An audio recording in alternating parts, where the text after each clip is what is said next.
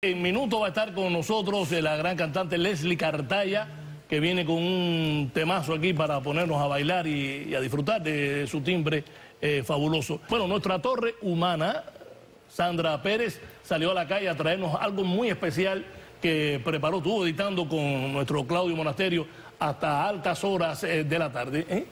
Volvimos, Omar, volvimos al área 51 a buscar los talentos ocultos de los achicharrados. Esta vez no los puedo defender. Tú sabes que yo los quiero, yo los voy, los ejercito, siempre le tengo una atención especial con ellos, pero no los puedo defender deja que tú veas esta Pero vez. le diste cuero. Si estaban achicharrados completo. Esta vez lo que encontramos, lo que bajó la nave. Sí, sí, no, no, no, estos son, esos son rezagados. sí, eso rezagados que se pierden de la nave y ya, ya después tienen que venir la, la policía de ese planeta y se los lleva. Eso fueron los últimos que llegaron. Hacia la nave. Vamos a ver a Sandra en la calle 8 o área 51. Omar, seguimos con este concurso que está dando de qué hablar, buscando los talentos ocultos aquí de la calle 8. Vamos a ver qué nos trajeron las naves esta vez. Hola, ¿cuál es tu nombre? Orlando González. Bueno, mi talento es que soy artista plástico, eh, soy de Colombia. Es tu talento oculto, el que nadie sabe. Es que yo miro la vida con unos ojos diferentes. ¿Ves lo que te digo? ¿Ves lo que yo te digo? Vamos a mirar la vida diferente. Mírame diferente, ¿cómo es que tú Hola, ¿cómo es su nombre? Cari. Estamos buscando los talentos ocultos de la calle 8. ¿Cuál es tu talento? Bueno, mi talento es hacer joyería. ¿Cuál es tu talento oculto? Sonreír a las personas. ¡Ay, qué linda!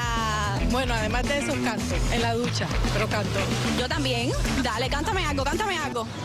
Despacito, quiero que me beses despacito. Quiero desnudar tu pelo despacito. Hola, ¿cómo es su nombre? Mi nombre es Milay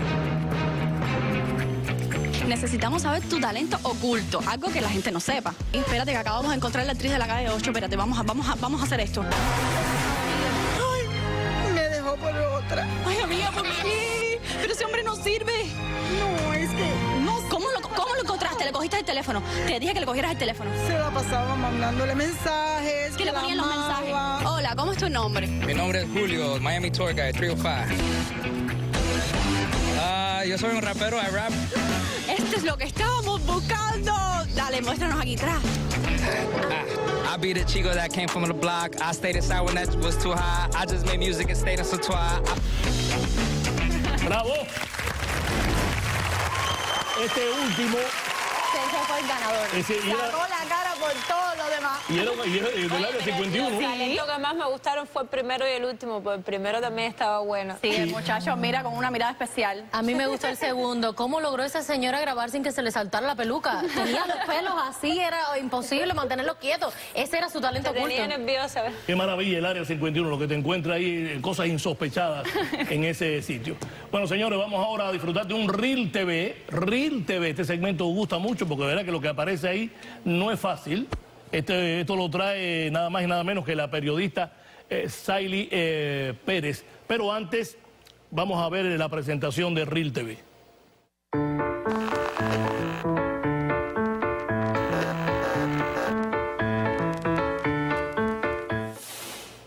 Esto tiene que ver con nuestra islita, con Cuba. Adelante, Saili. Así es, Omar. Bueno, el TV de hoy traemos a Camila Navarro, que es una influencer. Este es un video que se hizo viral en las redes sociales en las últimas horas porque ella fue recientemente a Cuba y fue al cementerio de Colón, donde fue a visitar a su abuelito. Eh, y la escena que se encontró ahí en el cementerio fue bastante devastadora. Vamos a ver el video y después lo comentamos. ¡Wow, qué fuerte! Algo que no voy a entender es cómo es posible que todas las tumbas en el cementerio de Colón estén así, abiertas. Eso no lo entiendo. Hoy vine a visitar a mi abuela en el cementerio y la verdad es que me ha quedado un mal sabor porque he visto el descuido del nivel de deterioro que tiene el cementerio. En la mayoría de las tumbas están saqueadas, rotas, abiertas y es realmente triste. Ya es un lugar de verdad bastante triste y resulta ser que cuando ves cosas como esta que te voy a mostrar ahora, es aún más triste. Incluso puedes ver la ropa de los difuntos en la calle, llena de tierra. Es decir,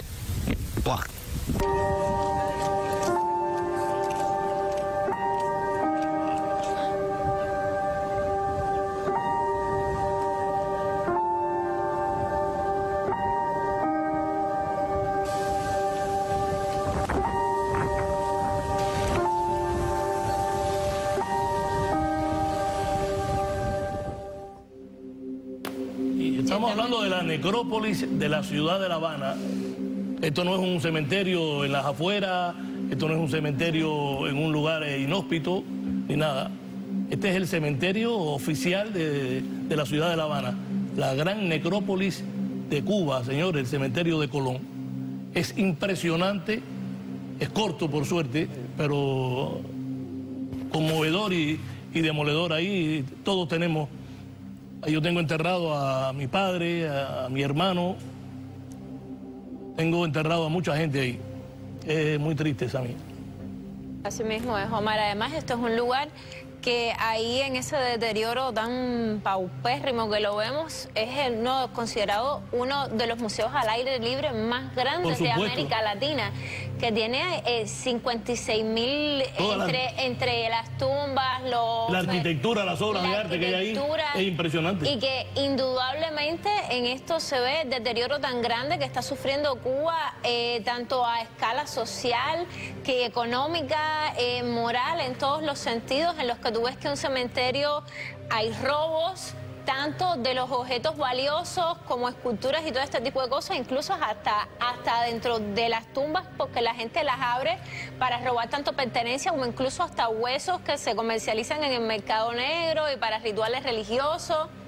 Y una, eso sumado a que indudablemente se nota muchísimo en todas esas imágenes y muchísimas más que hay rondando por todo internet a raíz de este reel eh, que se le ha dado muy poco mantenimiento independientemente de los robos. El museo ha recibido muy, muy poco mantenimiento e indudablemente muy poca vigilancia, porque supuestamente ellos tienen cámaras de seguridad, pero ¿cómo puede pasar que tú tengas cámaras de seguridad en un lugar y esas tumbas las sigan saqueando? No, o sea, ¿qué, nivel de seguridad hay si las tumbas son profanadas constantemente? Y además eh, eh, me han dicho muchísimas personas que le he comentado a raíz de la investigación de este tema, que incluso en el cementerio tú tienes una tumba y te entierran a alguien ahí, te lo meten en la tumba, en el... En el panteón. En el panteón de tu familia, una cosa jamás vista en ese lugar, jamás opiniones. Eh. Yo, yo, me, yo me he quedado sin palabras, o sea, realmente para mí ha sido muy triste, empezando por todas estas cosas que hemos hablado de lo que siempre ha significado y, además por lo que se ha convertido, lo que va quedando de los cubanos que están dentro de la isla. Es un modo supervivencia ya en un grado súper elevado, al punto de que hay quienes no respetan ni siquiera los muertos y los ancestros de otras personas y muchas de estas cosas incluso que pasan buscando que cuánta pertenencia puede tener alguien eh, que está enterrado ahí, que a lo mejor no lleva ni mucho tiempo y encima que vendan los huesos. No, no, eso hay eh, mucho, hay religiones que utilizan mucho. Sí, sí, exacto, para usarlo este para, cosas religiosas. y cosas de la mayoría supongo que para salir del país también, todos esos rituales religiosos que se hacen serán también para salir del país. Sí, bueno, para salir del país el ritual y un bolón de dólares también. Sí, no, me imagino. y que le cuesta el ritual. Y que le cuesta el ritual. video es devastador. Yo me acuerdo cuando yo era pequeña, que nunca había salido de Cuba, la idea que yo tenía en mi mente era que los, todos los cementerios del mundo eran así. Y cuando yo salí me di cuenta de que nosotros teníamos algo valioso en nuestro país, algo único, y verlo así de esta manera destruido... Es, patrimonio de la humanidad. Exactamente, exactamente. un cementerio... Y verlo así destruido, pues es eh, la muestra de un sistema completamente fallido y del hambre y la miseria que está pasando el pueblo cubano. Y se pierde también un poco la, humanidad y como tú estás diciendo, el respeto, ¿verdad? Porque quién, o sea, y tú te imaginas una persona hacer eso, o sea, no, respetar ni a un muerto, ya, ya eso ya el cubano, ya el cubano está tan desesperado que ya no, no tiene respeto. Y eso es lo más triste de toda esta historia, que al final de todas esas lecturas siempre llegamos a la misma conclusión. La dictadura lo único que ha logrado es cada vez ensombrecer más al cubano, ensombrecer su historia, ensombrecer su alma y que no tenga ganas ni siquiera de vivir ni de respetar nada de lo que pueda quedar. Eso es lo único que ha logrado esa dictadura que sigue aferrada a, como un caracol a una piedra y no hay Dios mm. que lo logre sacar de ahí, incluso porque ellos tienen que ver estas cosas. Claro. Vamos a una pausa y regresamos enseguida.